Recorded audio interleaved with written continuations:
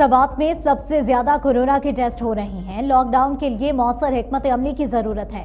दुनिया के बेहतरीन सेहत के निज़ाम भी इस वक्त नाकाम हो रहे हैं।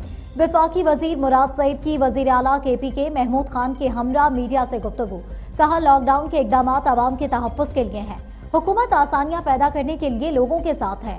लोगों को बेरोजगार नहीं करना चाहते इकदाम एहतियात के लिए किए हैं। विफाकी हुकूमत के इकदाम पर कल से अमल दरामद शुरू हो जाएगा।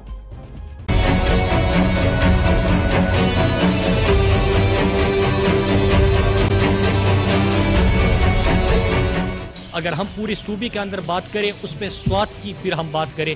या मुल्क के अंदर जो रेशू चल रहे हैं, उसमें स्वात में टेस्टिंग जो है, वो कुछ ज़्यादा तादाद में हो रही है, बाकियों की नस्बत। मौसर लॉकडाउन के लिए मौसर हमत अमली की ज़रूरत होगी। और मौसर हमत अमली क्या हो सकती है? क्या जब आप लॉकडाउन करेंगे तो उसमें आप अपने लोगों को जो गरीब तबका है, जो डेली वेजर्स है, जो रोज़मर्रा की दिहाड़ी के ऊपर अपनी मजदूरी करके अपने बच्चों के लिए दो वक्त का खाना लेके जा सकते थे, उनके आप क्या सोचते हैं? तो मैं एहसास प्रोग्राम की स्पेशल यहाँ पे बात करूँगा। इस तरह एक करोड़ बीस लाख लोगों को एहसास प्रोग्राम पूरे पूरे पाकिस्तान के अंदर लोगों को एहसास कफालत के थ्रू बारह हज़ार रुपये देंगे। अगर कोई ज़रूरतमंद अभी भी रह गया तो मैं आप दोस्तों के थ्रू उनको बताना चाहता हूँ कि आप लोगों को बताएँ कि 19 अप्रैल तक वो खुद को रजिस्टर कर सकते हैं।